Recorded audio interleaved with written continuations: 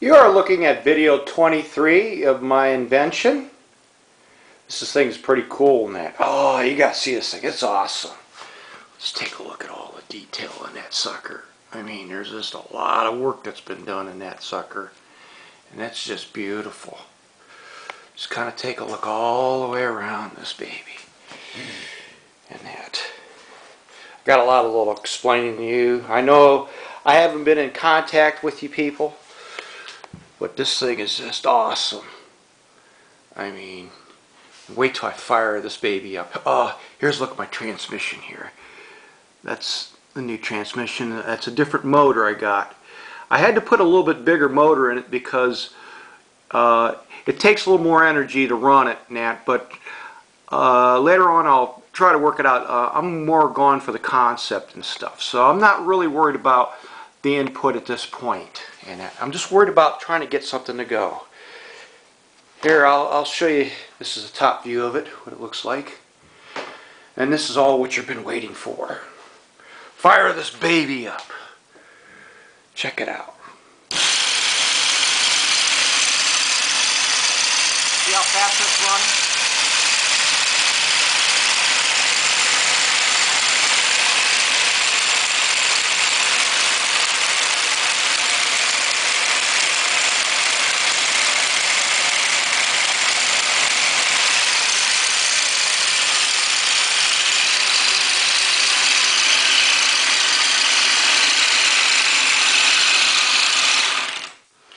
Starts and stops when I want it to. See how that stopped? And then I'm not hitting this any of this with my fingers. I can adjust it. I got a speed control on it. And I watch, I'll try to adjust it a little faster.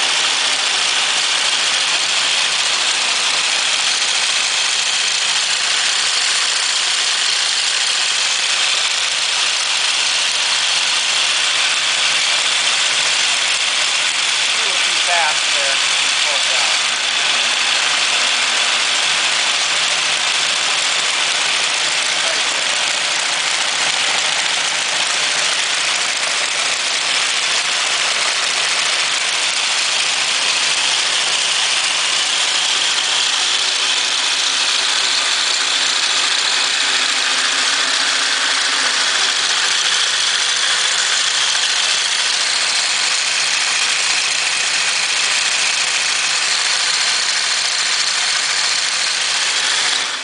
As you notice, there's uh, a lot of different changes he's made into it. Uh, the cam and that. Let me uh, run this thing real slow once and I'll show you something here. Really neat. I'll slow it down a little bit. As you can see, it's got that wave effect when it runs. That's uh, Maxwell's wave effect.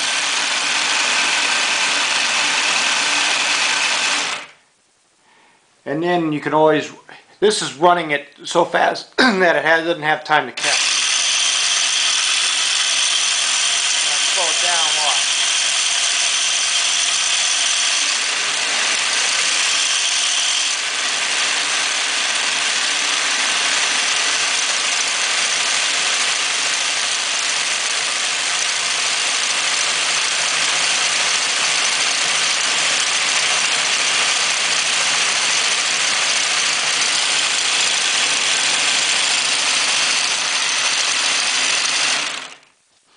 It runs pretty good in that.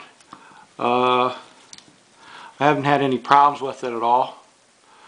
Um, and what I want to show you is this cam here for a second. Um, let me unhook this over here. This thing turns very freely as you can see. It's got all of the uh, I could turn it very easily with my hand. It doesn't take much to turn this at all, even on this end here.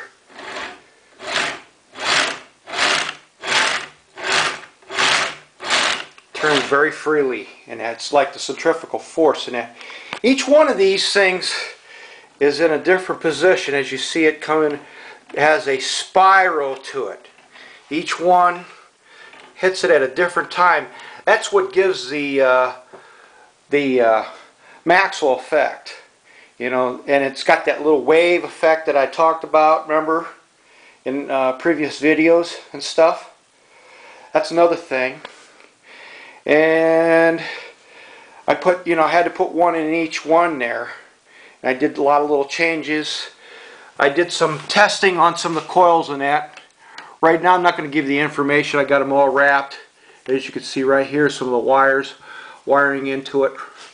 Right here, there's some wires that go down inside there. Uh, I'll get that on the maybe the next video. I'm trying to different configurations. I'm just not going to give that information out right at this point.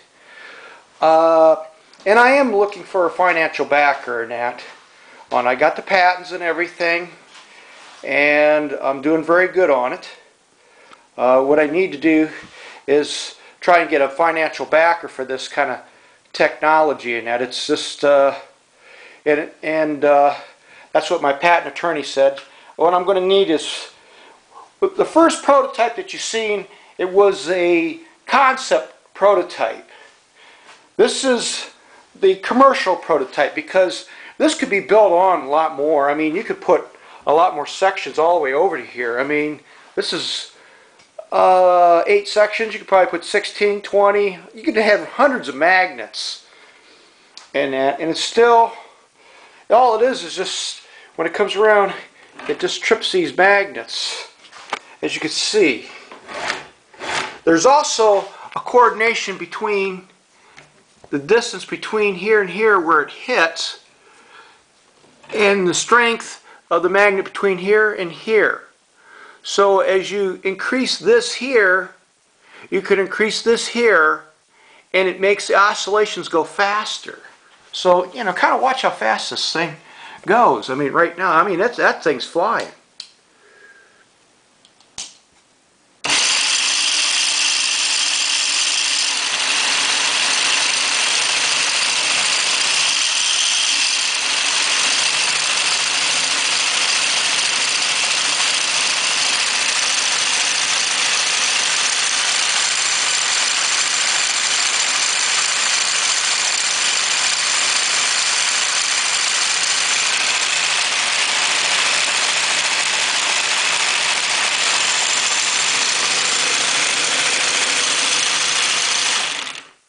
So I mean that thing is really scooting along in that. I mean definitely it's putting out a current. It's definitely a generator. There's no doubt about this thing and that. It just took me a lot of time to get some things worked out and that.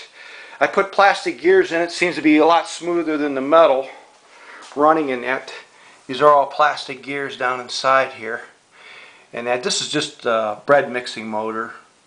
It's not that big of a motor and that. But there's a lot of motion going on in this thing and it's it's pretty cool in that. I mean it runs great. But the thing is I'm going to need a financial backer and um, it's going to be millions of dollars to get the production prototype going this is only a commercial prototype. I want a production prototype. It could be made and don't get hung up about all the magnets down inside here or what I'm showing you these could be electromagnets down inside here. You know, when you look at your generators and stuff, those are all electromagnets. And I can get a higher output. Your electrical motors and stuff aren't permanent magnets. But let me show you something here.